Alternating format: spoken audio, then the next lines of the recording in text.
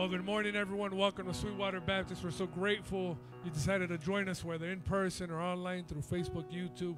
We're going to start off this Sunday morning by recognizing that we serve the King of Kings, who's able to turn even death to life, graves to gardens. Amen. Let's sing together.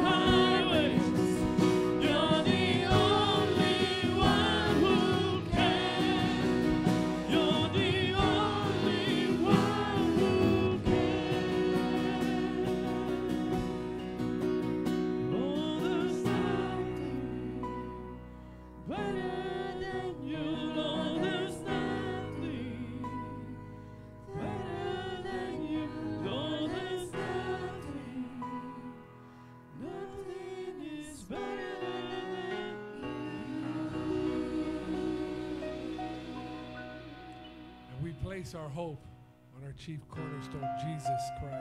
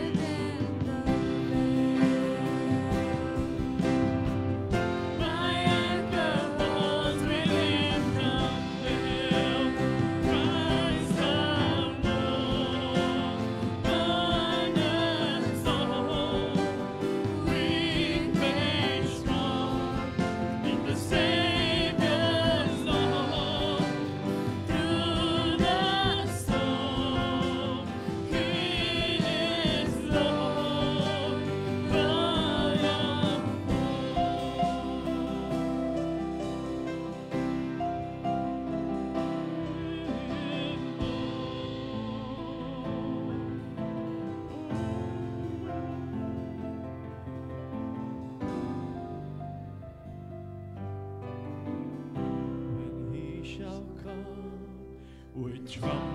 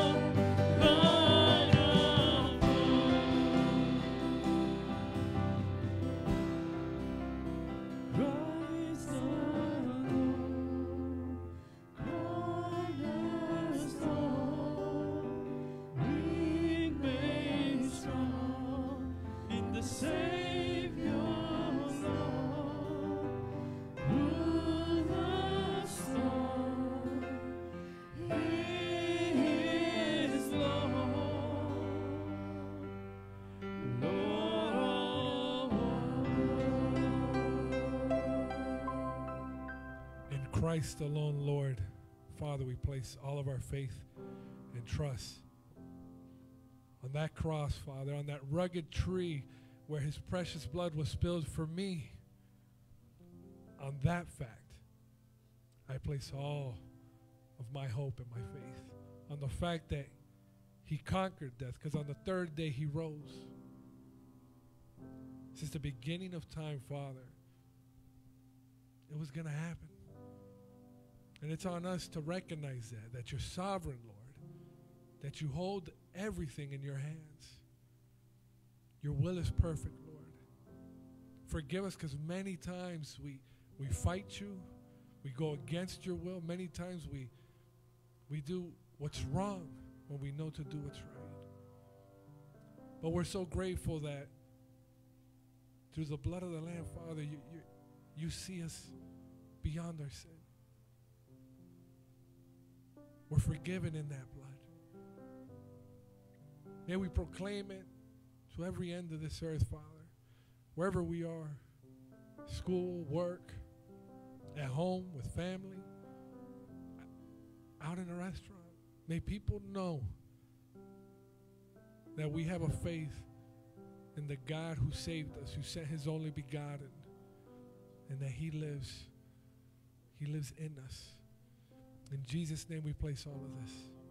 Amen. You may be seated. We're going to go over the announcements now. There's quite a few this week. So, the first special announcement we have is that we have the administrative meeting today at 5 o'clock p.m., okay? Um, so, go out, have some lunch, come back at 5 p.m. if you want to attend this meeting. This is only for members, right? It is a very special meeting because uh, the church is going to be presenting um, basically a real estate company uh, the offer that they have, the proposal they have to represent us as an interest right and this property to be able to potentially, um, you know, sell it, get some develop de- developers here to to build a temple for us.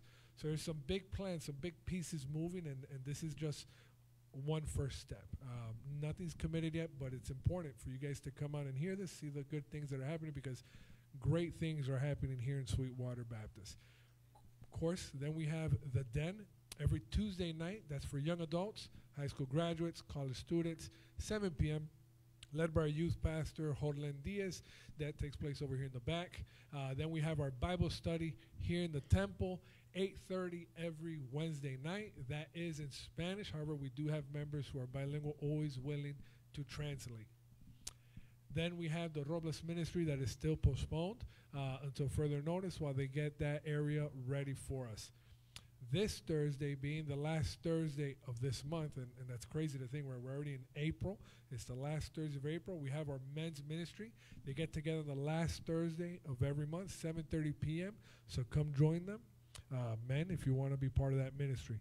And then we have a very special announcements. Normally on Friday nights we have our, our regular youth group. However, this weekend, Friday and Saturday, we have a special um, service, youth weekend taking place. It's gonna special guest speaker Cal Gray, who's gonna be over. We're gonna have the gospel message being delivered as usual. Live band, food, games, prizes. It's gonna be a great time. That's 7:30 p.m. That's when the event's gonna start Friday and Saturday. It's a two-night event. Come out, support the church, um, invite friends, loved ones, and even if you're not young but you feel young at heart, come out. You know, see see what see what God's doing with the youth here in this church. It's pretty impressive. Of course, then we have Sundays, our Spanish service, el servicio español a las 10 de la mañana. That's at 10 a.m. Then we have our Sunday school in English at 10:45. Our Bible study in English at 10:45. Of course, then we have our English service 11:45 uh, ish is when we start the English service. Y la escuela dominical hispana that takes place a las 12 menos cuarto de, del día. All right, I think that's it for the announcement. So we have our Zelle there.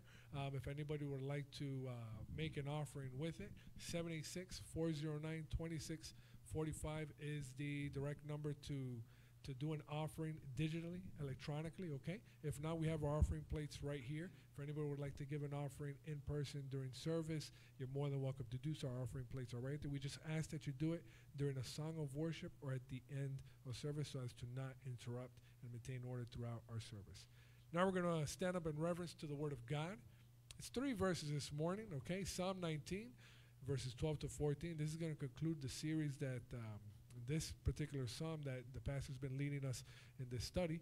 And we're going to read it all together, okay? Because it's three verses. After which, I'm going to ask my brother Jeremy if you could lead us in a moment of prayer for this, okay? And the Word of God says, let's read this all together. Verse 12 Who can understand his errors? Cleanse me from my secret faults. Keep back your servant also from presumptuous sins. Let them not have dominion over me. Then I shall be blameless, and I shall be innocent of great transgression. Let the words of my mouth and the meditation of my heart be acceptable in your sight, O Lord, my strength and my redeemer. Let's read verse 14 one last time, real strong. Let the words of my mouth and the meditation of my heart be acceptable in your sight, O Lord, my strength and my redeemer. Jeremy.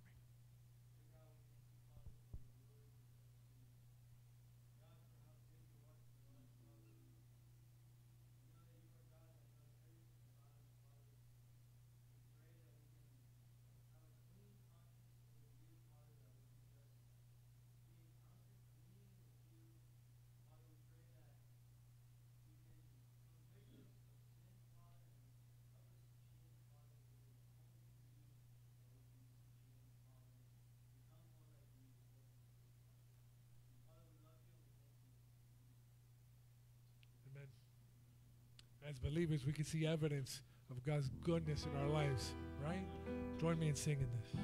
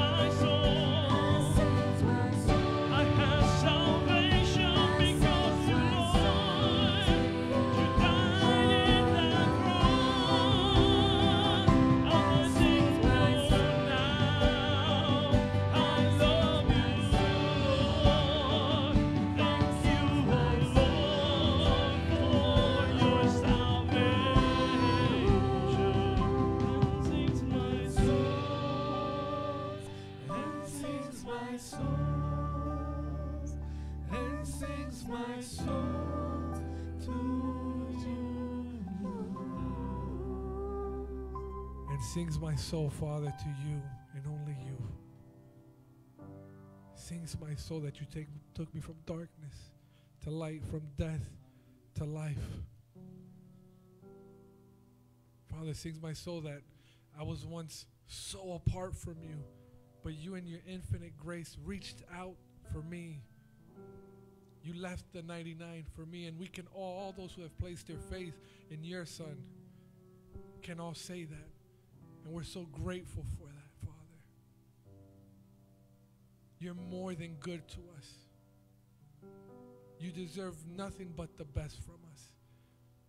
Prepare our minds, our spirits, our souls to receive this morning, Father, what you have prepared.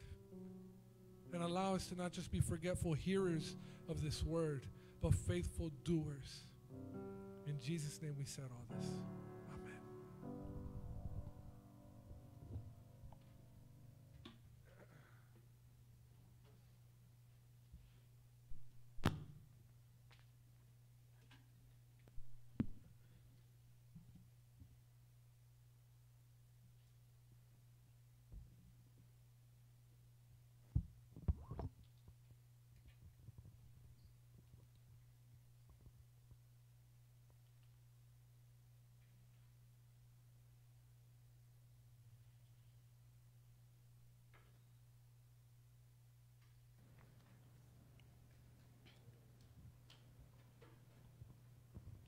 El Señor les bendiga. Bienvenidos todos esta mañana a la casa de Dios. May the Lord bless you. Welcome to the house of the Lord, everyone.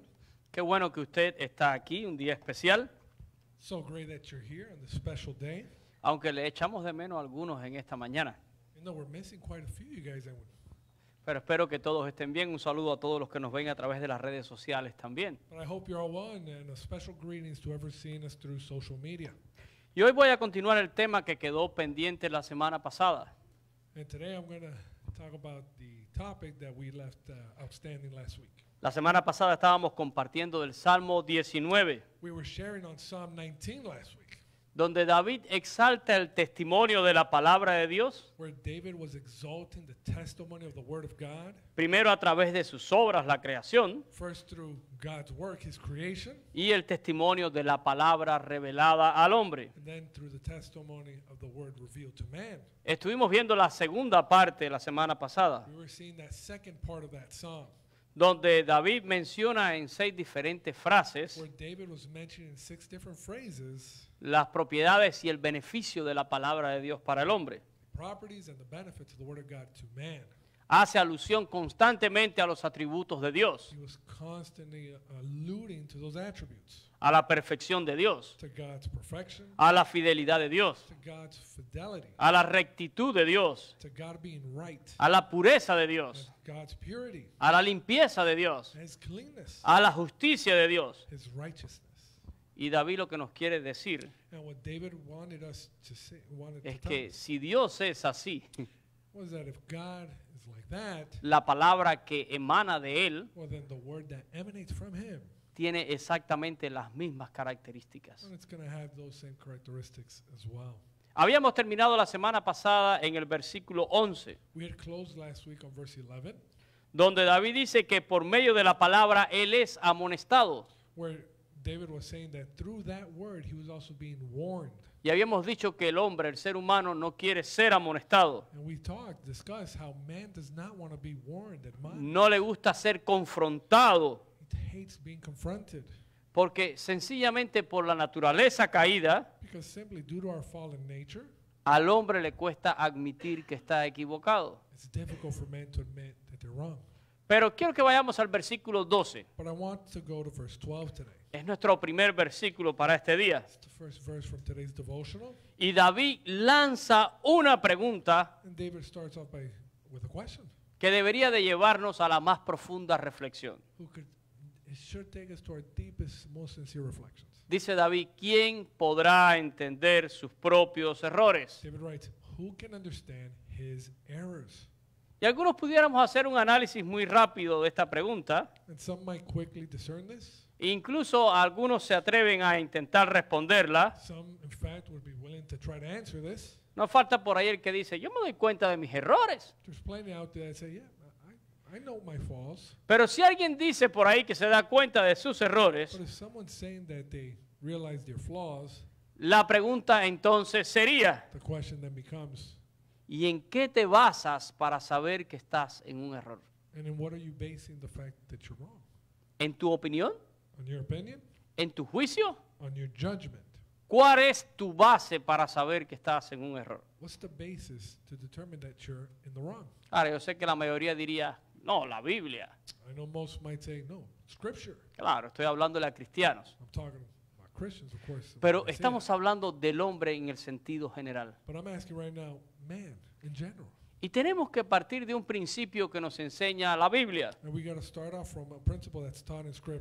En el libro de Proverbios, el capítulo 16 y versículo 2, In the book of Proverbs 16, verse 2, Salomón dice, Solomon says, todos los caminos del hombre son limpios en su propia opinión, All the ways of a man are pure in his, in his own eyes, pero Dios pesa los espíritus. but the Lord weighs the spirits.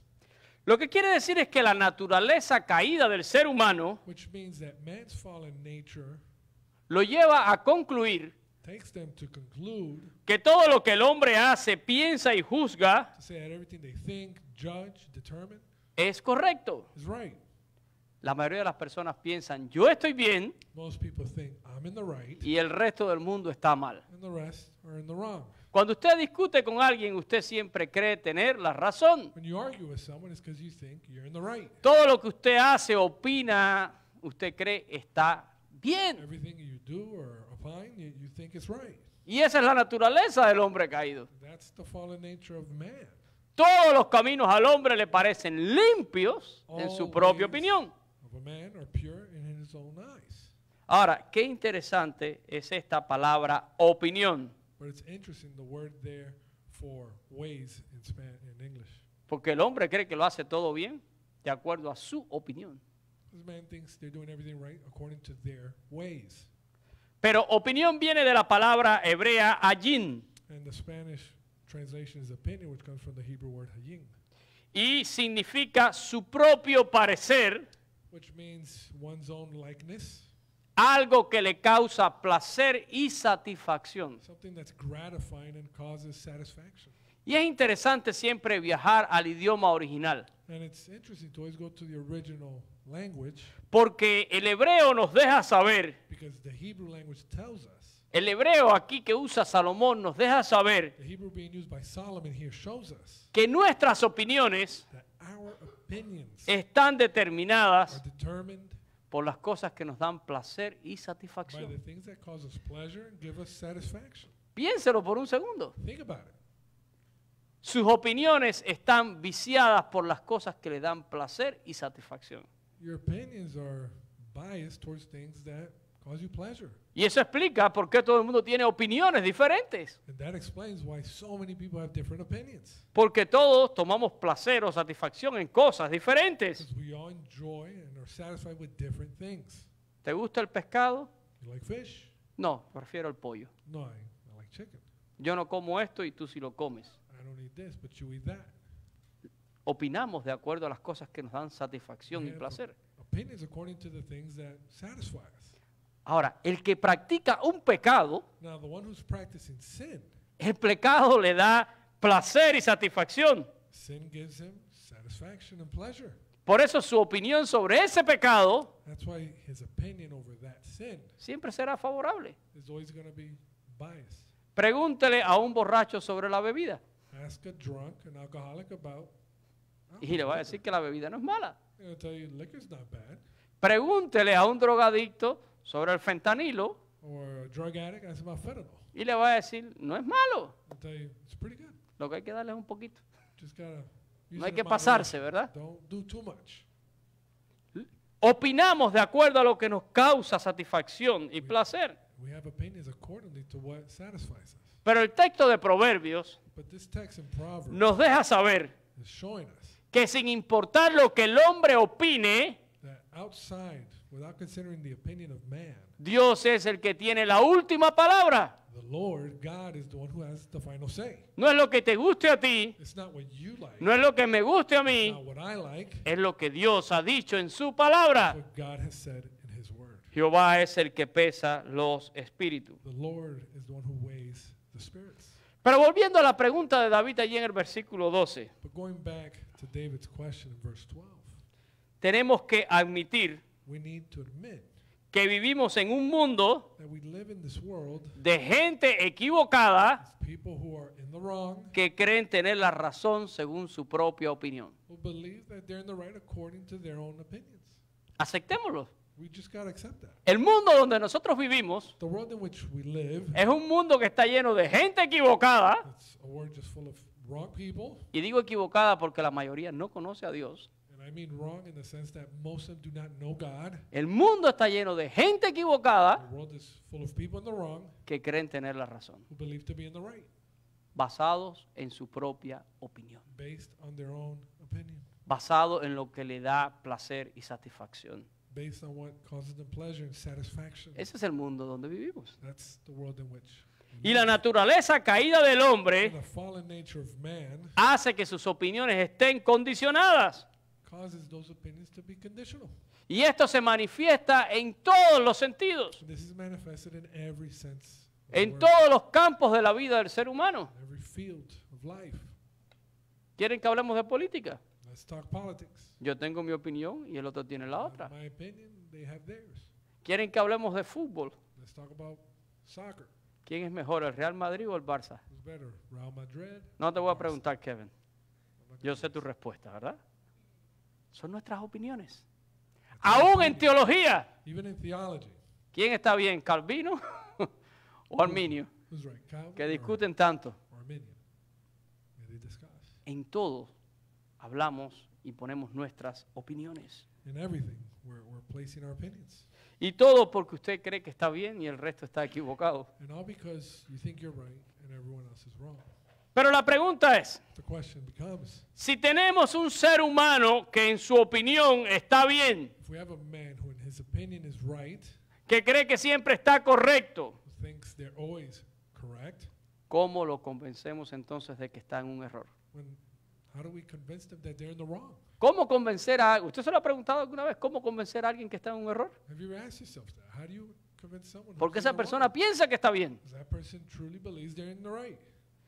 Miren, la ausencia de Dios The absence of God como paradigma as paradigm, para determinar lo correcto de lo incorrecto as the thing that determines right and wrong, hace que el hombre se crea la gran mentira de Satanás. causes man to believe Satan's great lie. ¿Y saben cuál es la gran mentira de Satanás? You know what that lie is? Tú estás bien. You're right. ¿Qué importa lo que opinen los demás? Who cares what others think? Y ese es el relativismo del que tantas veces hablamos. Pero la gran mentira del diablo es, tú estás bien como estás. Satan's great lie is you're fine just the way you are. Y no importa lo que opinen los demás. And who cares what others think? Pero ¿te importa lo que opina Dios? But do you care what God thinks? Claro que Él sabe, Of course, He knows. el diablo The sabe devil knows que nuestra naturaleza that caída our fallen nature estará bien is be okay con lo que nos causa placer y satisfacción, with what causes us pleasure and satisfaction. Pero va a estar en desacuerdo con lo que Dios ha dicho en su palabra. going to be in disagreement with what God has mandated in His Word. Por eso David habla So David speaks de que por la palabra de Dios Él es amonestado. that through the Word of God He is warned. Y la pregunta del versículo 12 And the question in verse 12 es para poner en evidencia place la condición del hombre man's condition que se cree que siempre está en lo correcto. right. ¿Quién entenderá sus propios errores? Who can understand his errors? Nadie. Nobody. Solo el conocimiento de un Dios santo por medio de la palabra revelada, through the revealed word dice David en este salmo, nos hace entendidos is makes us wise para ver nuestras vidas a través del lente de la verdad de Dios. To be able to see our lives through the truth that is God. Sin embargo, la segunda parte del versículo 12, However, the second half of verse 12, yo diría que aún es más alarmante, I would say is even more alarming. porque David está hablando de errores, David's talking about errors. Pero ahora dice, líbrame de los que me son Now he ocultos. says, cleanse me from secret faults. Wow. Y la mayoría cuando leen este texto And most people, when they read this, piensan que David le está pidiendo a Dios they think that David's asking que lo libre de los errores que Dios sabe y que quizás él no sabe. for God to forgive him of, of the errors that God knows, but that he doesn't, perhaps. Y yo creo que puede ser así. And yes, that, that could be, I think. Pero también puede ser una alusión But he could also be saying, al pecado que yo sí sé, pero que quiero encubrir. referring to sins that I do know, but I'm trying to hide. La palabra oculto That word for secret que usa David aquí, líbrame de los que me son that ocultos, David uses here in the second half, verse 12, secret, y es la palabra hebrea satar, comes from the Hebrew word satar, significa algo reservado, meaning something reserved, algo secreto, something secret, algo escondido. something hidden, Y esto amplía al- el sentido de lo que David está diciendo. which then amplifies what David's saying here. Es verdad que puedo cometer errores sin darme cuenta, It's true that I could commit mistakes without realizing I did. pero en otras ocasiones sí nos damos cuenta But on other occasions, we do realize it. y solo queremos encubrir nuestros errores para no admitirlos. we only want to cover up our mistakes to then not admit it. Así que el clamor de David también puede ser, So David's clamor could also be, líbrame de los errores que he querido mantener en secreto,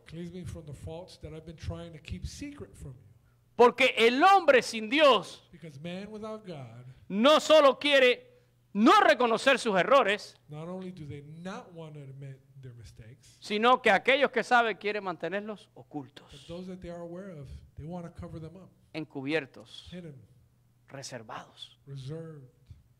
Apuesto que todos los que estamos aquí, incluyéndome a mí, I'll bet that all of us here, including myself, tenemos algo en nuestra vida que no queremos que nadie lo sepa. We have something in our life that we don't want anyone to know. Alguna metedita de pata por ahí que queremos que quede encubierta. Something that we just want to maintain hidden.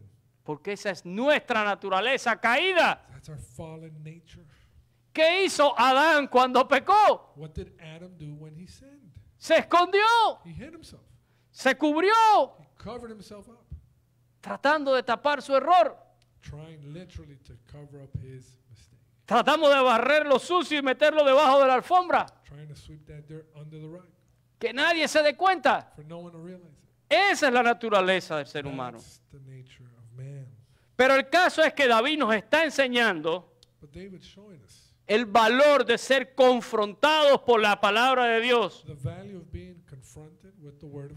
A modo de poder entender nuestros errores, to be able to realize our mistakes, ya sea que los sepamos o que los querramos mantener ocultos. whether we know them or, or have them hidden or want to maintain them hidden. David dice, la palabra nos ayuda a admitir nuestros errores David's saying that the Word of God allows us to admit these, para no llegar a una actitud que ahora David describe en su salmo. to not reach an attitude that he's going to explain and describe now in his psalm. Cuando no admitimos nuestros errores, When we do not admit our mistakes, llegamos a la soberbia. well, then we reach the point of pride. Y eso es lo próximo que nos enseña David en este salmo. That's the next thing that God, uh, Miren about. el versículo 13. Verse 13. Dice David, preserva a tu siervo de las soberbias David writes, Keep back your servant also from presumptuous y que no se enseñoreen de mí. Let them not have dominion over me. Ahora, soberbia, So the word there for pride or presumptuous del hebreo set, from the Hebrew word set, y significa insolencia. meaning insolence. David está diciendo, líbrame de ser insolente. David saying, Keep me also from being insolent. La posición de creerme que siempre estoy bien. This attitude of always thinking I'm right. La posición de no reconocer mis errores me lleva a la soberbia, me lleva a la insolencia delante de Dios y delante a veces de los demás. Y como me decía Reina la semana pasada, todos hemos padecido de soberbia. all of us have, En algún momento de nuestra vida todos hemos sido soberbios. we've all been prideful, presumptuous at some point. Dígame que usted en algún momento de su vida no se cree que usted está bien y que todo el mundo está mal. Tell me that you've never felt to be in the right and that the whole world was in the wrong at some point. Dígame que usted no ha querido prevalecer muchas veces sobre las demás personas con sus opiniones. Ojo, porque la soberbia se apodera de cada uno de nosotros en ese momento. Careful because pride, presumption takes over. Y que usted puede tener la razón, And you may be right, pero mucho cuidado de la manera en que usted argumenta sus razones. but very careful in how you communicate and express Porque la soberbia llega. those reasonings because pride, presumption comes. Y en cuanto a la soberbia, And with respect to pride, David le pide a Dios que lo preserve, guárdame. David's asking to keep back your servant. Y David lo menciona en sentido plural, las soberbias, And he has sins there in plural, lo cual nos deja saber que la soberbia tiene varias caras which means that pride can show up in very different y puede ways, llegar de diferentes formas a nuestra vida. in different aspects of your life. It could end up reaching it. Pero entendiendo la relación del hombre y Dios, But understanding the relationship between man and God, el hombre que no entiende sus errores man who does not understand his faults, cae en una posición soberbia delante de Dios. falls then in a position of pride in the sight of God. Dios es nuestro Padre Celestial. God is our heavenly Father. Y los que son padres aquí And those who are fathers here, saben que a veces los hijos también se ponen soberbios. we know that many times our sons can become Y a veces prideful. nos confrontan con cierta actitud, ¿verdad?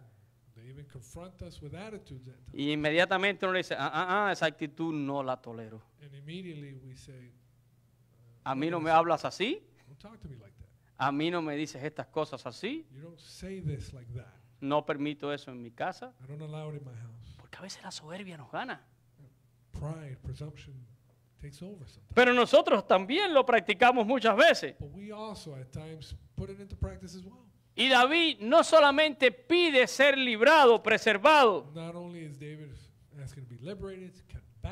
David le ruega a Dios que no se enseñoree de mí. but he pleads them, let them not have dominion over me. Y esa palabra también es interesante en hebreo. That word for dominion is Enseñoreal, dominion. Del hebreo mashal, from the Hebrew word ma- y significa gobernar, which means to govern, apoderarse, to take over, dominar, to dominate, reinar, to reign, establecer una tiranía. to establish literally a tyranny. Y el ruego de David es, no dejes que la soberbia gobierne mi vida. David's pleading, don't let that presumption No dejes que haga un reino en mi vida. to convert itself into a kingdom in my life. Porque nos lleva a una posición difícil delante de Dios y delante de los demás. Because it leads us to a difficult position in the sight of God and others. Y repito, no es que no vamos a padecer de soberbia, Let me repeat, it's not that we're not going to suffer from this. porque somos seres humanos caídos. Because at the end of the day, we are humans. Yo padezco de soberbia. We all have the fallen nature. I suffer from this. A veces alguien me dice algo At times, people have told me things, y le hago la historia a mi mujer and I'll tell them the story of my wife. y le digo, me dio una clase soberbia cuando me dijo eso. I'll tell them felt so much presumption when she told me this. No es que no puedo padecer de soberbia, It's not that I can't suffer of pride and presumption. pero el ruego de David es, Señor, la, la menor cantidad de veces que pueda sentir esto será bueno para mí. But David's plea is just let me not suffer of this as little as possible, please, God. Y sobre todo, no dejes que eso se enseñoree en mi And vida. above all, don't let it govern my life. Podemos en un momento sentir soberbia, We could at any moment pero inmediatamente hay que lidiar con eso. but immediately you have to deal with it. David es consciente David is conscious que vivir bajo la soberbia tiene un pago. that to live under presumption has a cost. Quiero compartir otro salmo de David, I want to share another Psalm of David, el Salmo 31, Psalm 31, y verso 23. verse 23. David dice, amar a Jehová todos vosotros sus santos, David writes, Oh, love the Lord, all you his saints. a los fieles guarda Jehová. For the Lord, Lord preserves the faithful Pero después dice, y paga abundantemente al que procede con soberbia. and fully repays the proud person.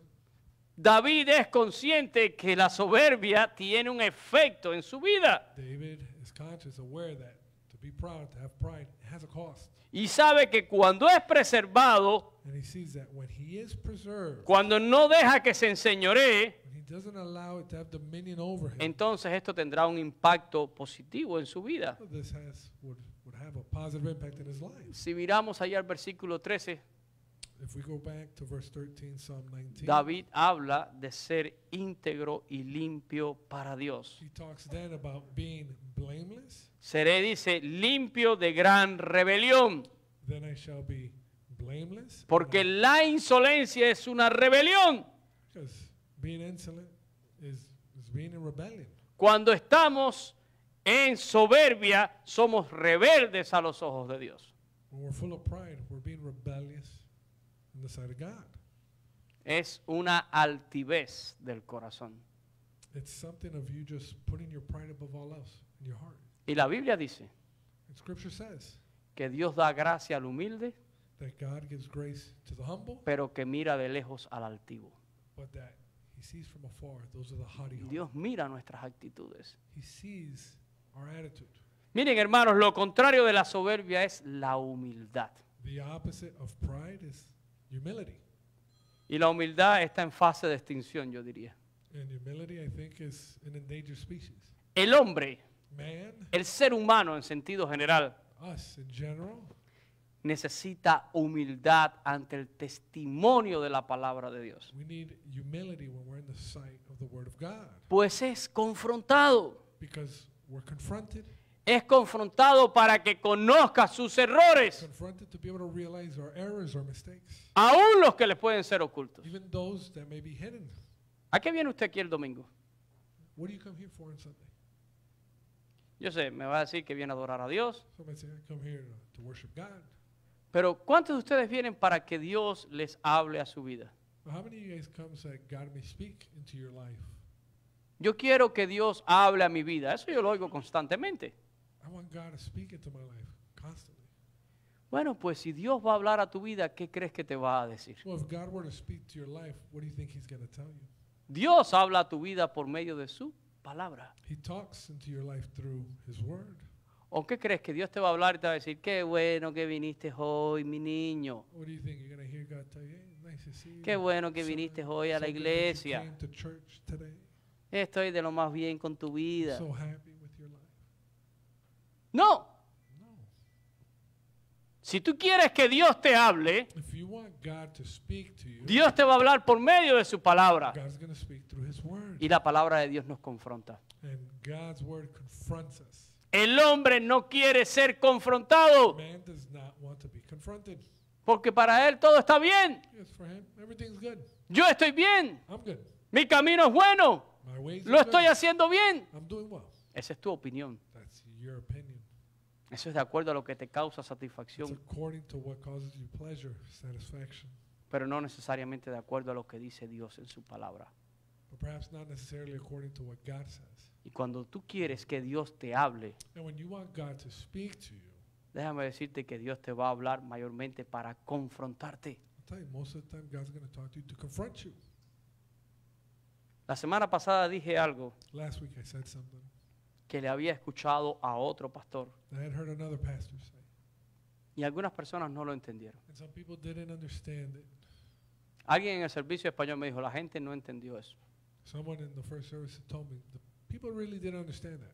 Es más, a algunos probablemente ni le gustó. In fact, some of them may not have liked it Porque yo dije because I had said que Dios no te ama that God doesn't love you. como... A ver, no, perdón. I'm sorry, me enredé. It's my mistake. Yo dije, Dios te ama no como eres, sino a pesar de lo que tú eres. God loves you not how you are, but beyond what you are. Porque estamos dándole el mensaje a las personas, On top of what you are. Because what we're trying to tell people no, Dios te ama como tú eres. is that God loves you just the way you are. ¿Les parece a ustedes eso correcto? Would that appear correct to you? La mayoría de la gente dice, sí, me parece correcto. Dios me ama como yo soy. Yeah, God loves me the way I am. No, Dios te ama a pesar de lo que tú eres. No, God, God withstands what you are and He still loves you. Porque si Dios te amara, como tú eres, Because if God loved you just the way you were, no tendría que cambiar nada en ti. He wouldn't have to do anything in your life. Y entonces, ¿para qué mandar a su Hijo Cristo Jesús a morir en una cruz? So what's the point of, of that cross and His Son? No tendría sentido. It would have no need, no sense. No, Dios te ama a pesar de lo que tú eres. A pesar de haber hecho esto o aquello. Y porque te ama, mandó a su Hijo para que Él pague el precio de tu pecado, para hacerte una nueva criatura to make you a new being, y para que haya cambios en tu vida.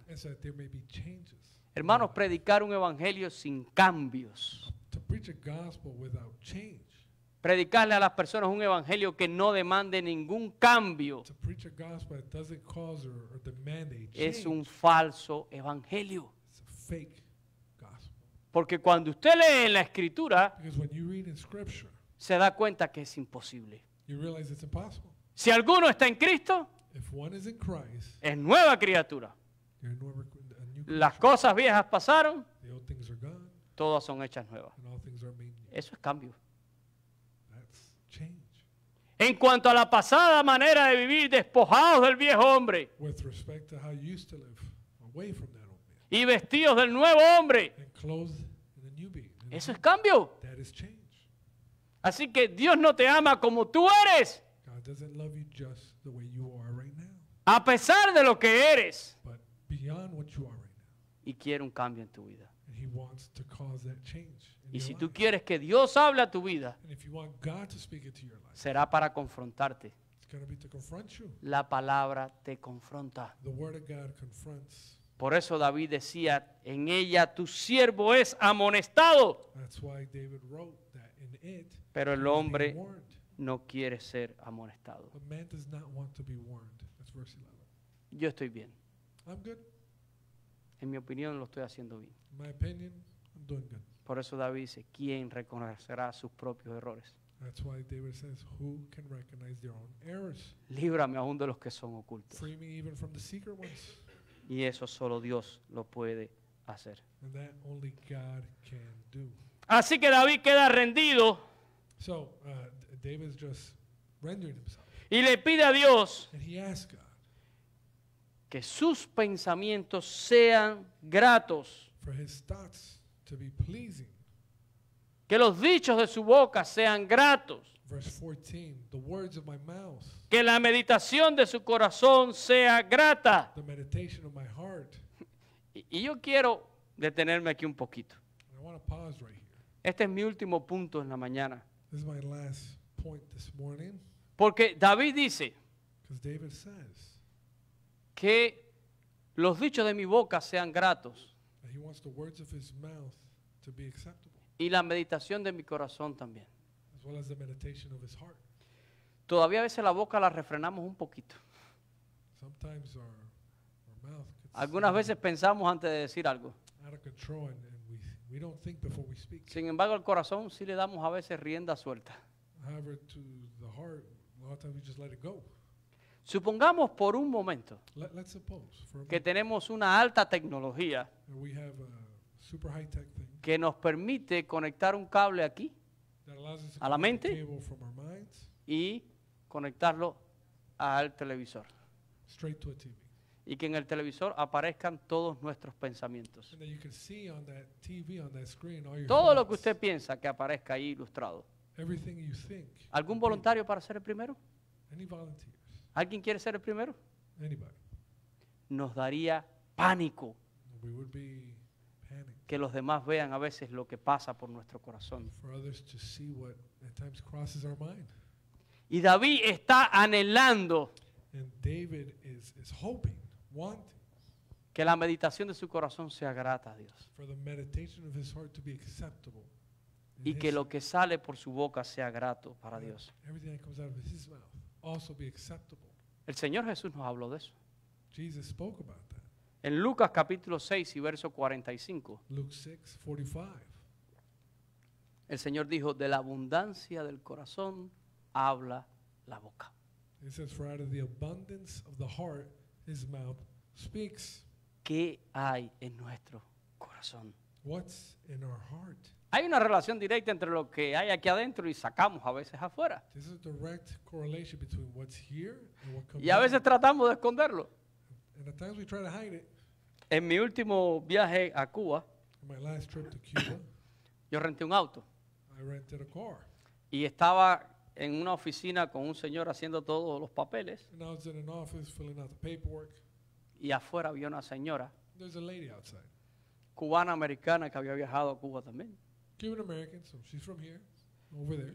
Y ella tenía problemas con sus carros, no sé, había una situación con el auto de ella. She was having some sort of issue with her car that she had rented. Y esa mujer entró a la oficina donde yo estaba And that woman got into the office where I was y insultó a aquel hombre y le dijo todo tipo de cosas, and insulted that guy con todo tipo de palabrotas. using all types of words. Y yo estaba allí calladito.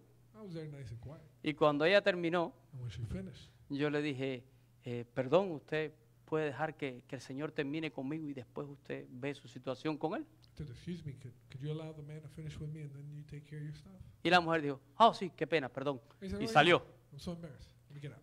30 segundos después, 30 seconds later, entró nuevamente a la oficina comes back in. y me dice, pero yo no quiero que usted piense que yo soy una persona así, I don't want you to think that I'm like that porque yo soy manager y trabajo con mucha gente I'm, Y yo no me comporto así ni digo esas cosas.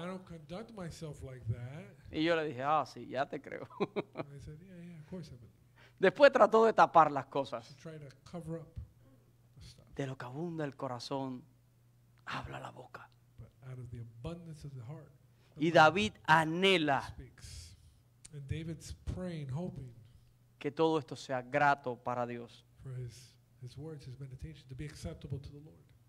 Si nosotros anhelamos que nuestra vida sea grata para Dios, If we desire for our lives to be acceptable to the Lord, lo que sentimos y lo que hablamos what we think, what we speak, tiene que ser que necesitamos ser cambiados. well, then that would mean we need to be changed. Pero ¿cómo podemos ser cambiados si no admitimos nuestros errores? How can we be changed if we're not able to admit our errors? ¿Cómo podemos ser cambiados si la soberbia se enseñorea de nuestras vidas? Si pretendemos todo el tiempo tener la razón, right si según nuestra opinión todo está bien, according to our opinion, okay. necesitamos ser confrontados We por la palabra de Dios. Y eso es lo que David nos está diciendo en este salmo. El hombre que no quiere ser confrontado se vuelve soberbio. Y va por la vida pensando que se lo sabe todo y que él está bien. Pero el que es humilde, el que es humilde, Oh, but the one who's humble, ese entiende, me he equivocado, that one realizes I messed up. necesito cambiar, I need to change. Necesito arreglar. David decía, por tu palabra tu siervo es confrontado. David said, through your word, your servant is warned. Saben, Dios ha dado su palabra para que nosotros podamos corregir nuestra vida God's given his word for that we can correct our lives. y para que podamos conocerlo a Él. so that we can know him. Pero si tú no anhelas But if we don't desire agradar a Dios, to please God, nunca, never. Nunca vas a moverte en ese sentido. You're never going to move in that direction. Vas a ponerte en una posición soberbia. You're going to be in a position of presumption, Vas a creerte el cuento del diablo.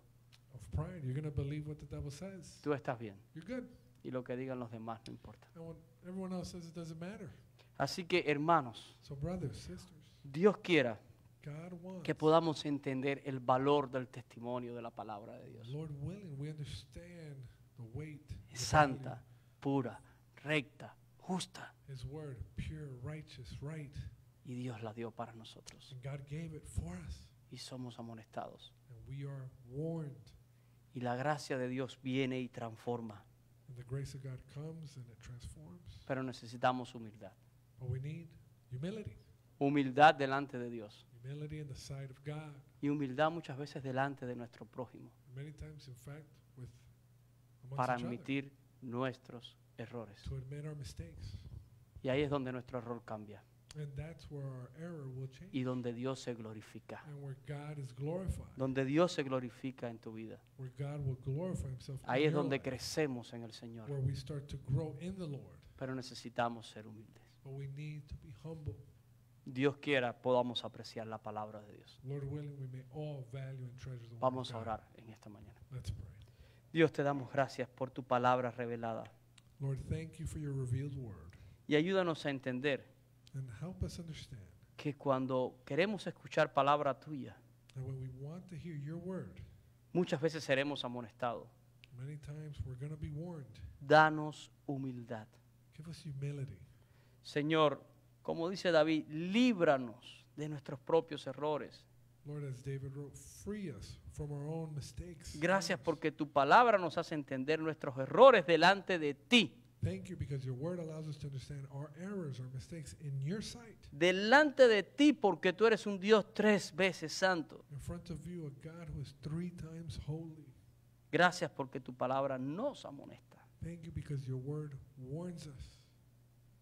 Y ahora te ruego, And now I plead, como David, que nos preserves de la soberbia. as David asked for us to be preserved Que no dejes nunca que la soberbia se enseñoree de nuestras vidas. presumption, sin, never allowing it to have dominion over us. Porque el deseo de nuestro corazón Because the desire of our heart es ser grato delante de ti. is to be acceptable, pleasing to you. Pero necesitamos ser transformados But we need to be transformed y ser confrontados con lo que está mal en nuestra be vida. confronted with what's wrong in our lives. Ayúdanos, Señor. Help us, Lord. Y permite que esta palabra que escuchamos sea un testimonio a nuestras propias vidas. Y que abandonemos toda altivez de corazón y vengamos delante de ti, diciéndote, límpianos. Señor, ayúdanos, lávanos. Help us. Queremos agradarte a ti. want to please you. Bendice a mis hermanos en esta mañana. Bless my brothers and sisters this morning. Bendice a tu iglesia con paz. Bless your church with peace. Queremos agradarte como iglesia. We want to please you as a church. Y gracias por lo que tú estás haciendo en medio de nosotros. And thank you for what you're doing in the middle of all. En el nombre de Jesús oramos. In Jesus' name we pray. Amen. Amen. Thank you guys. God bless you. See you.